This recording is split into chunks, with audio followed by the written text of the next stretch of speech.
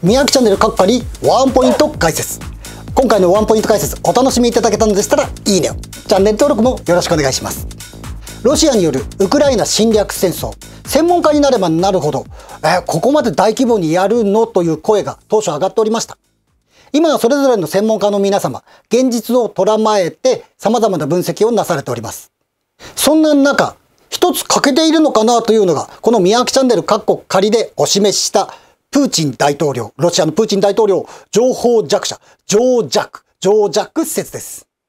もちろん本当のところはわかりませんが、状況証拠を集めていった時にそうなるというワンポイント解説。情報弱者にも様々な定義があって、ロシアのプーチン大統領がいろいろな情報を持っていない、まあ、いわゆる文字通りの情報弱者だということを言ってるんではありません。今時、SNS の時代になっているのに、この SNS に触れていなければ、本当の意味での世界を知らない、情報に弱い、情報弱者ではないかという仮説です。それは我々普通の生活をしている方が感じていることかもしれません。なぜか。いわゆる政府発表だとかマスコミの発表以外にも、今ネット世論に触れることが増えているからです。あるいはもうテレビは見ない、ネットしか見ないよという人にとってみれば、ネット世論の方がリアルな世論になっているんです。そしてこの現象は日本だけのことではありません。最も有名なところでは、前回のアメリカ大統領選挙において、ネット世論が国論を二分にしたと報道されておりました。その良し悪しはともかく、今時 SNS に触れていなければ、それぞれの国の抱える事情というものは理解しきれないことがあるということです。さて、それではプーチン大統領に振り返ってみると、プーチン大統領、ご自身でメールを打たないという報道があります。必要なことがあれば、カクカクしかじかでと部下に伝えて、その部下がメールを送信するというんです。また、ネットの情報はフェイクニュースが多いので、信用していないという声もあります。もちろんネット上にフェイクニュースは残念ながらたくさんあります。ただ、そのフェイクニュースが拡散されている、その背景には、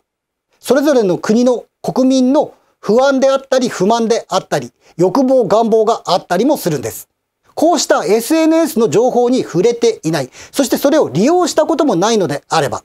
今 SNS で情報を共有し拡散するという、こうした気持ちがわからない、すなわち理解できない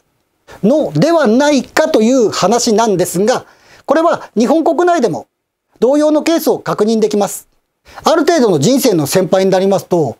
私はね、パソコンとかネットとか苦手なんだよという方少なくありません。こうした方に SNS 上で友達ができた。あるいは親しすぎる人ができた。なんて話題、なかなか通じません。時々報道される SNS を通じた犯罪なんかでも、なんで SNS を通じて友達が、彼女が知らない人と会ったんだなんて言いますが、SNS ネイティブな子供たちにとってみれば、もしもしのお電話なんかとそれほど変わらない感覚なんです。これらはいずれも SNS を実際に使ってみないとわからないことです。そしてプーチン大統領に話を戻しますと、プーチン大統領が実際の政権に参画したのはエリツィン大統領時代の1996年のことです。世界中でインターネットブーム、まあ Windows 95によって巻き起こっていた頃です。その頃からネットに接していないというのであれば、インターネット革命、IT 革命を体験していないということになります。もちろんネットの情報は部下を通じて入ってくることでしょう。ただその部下はプーチン大統領に気に入られるのかな？なんて忖度をしていれば本当の意味での正しい情報は上がってこないと推測することができます。こうした状況証拠を重ねに重ねていった時に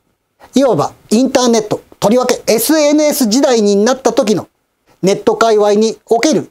プーチン大統領が情報弱者、情弱なのではないかというワンポイント解説でした。ワンポイント解説につきワンコのコーナーはありません。次回のワンポイント解説、レギュラー放送、突然始まるライブ配信などなどでお目にかかれればと思います。バイバイ。